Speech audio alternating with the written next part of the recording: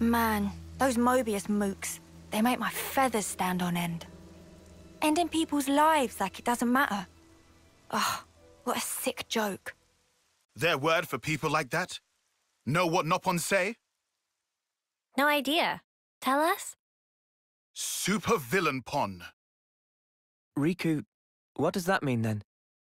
It be the extreme bad guy. Ah, I think I get it. Meme? What's up, Manana? Then, Onoa and Mio and friends, supervillain pon. You're labeling us? Labelling. Because friends used to end lives also. that not make them supervillain pon? I mean, it's not like we ever had a choice or anything. It was them or us. So when no choice, not fall under definition then. None of us ever fought because we wanted to. It's just how it worked. How people worked. And the world. So, world is supervillain pon. Huh? Since it make everyone do nasty things. World is bad guy. The world is... bad. Huh, I never thought of it like that. Now that you mention it, what in the world are we even here for?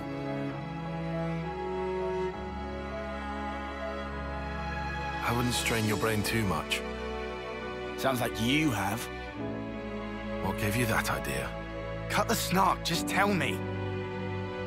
The end point of it is suicide. So what? If you don't want to hurt others, you'll end up denying your own right to survive. Eventually, you come to the conclusion that the world may well be better off without your presence. The only resolution, then, is to erase the self. To die. See? Pointless.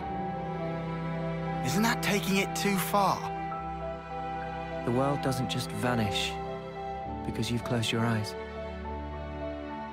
What? The moon. Think about it. Why is it that the moon shines? Just because we're watching? Of course not.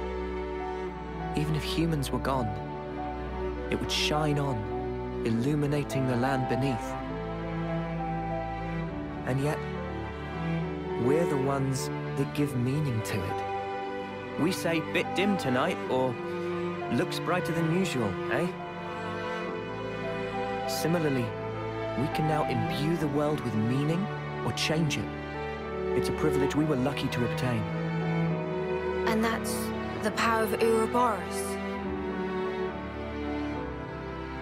We're obliged to use it. We can make a difference. So we don't become supervillains.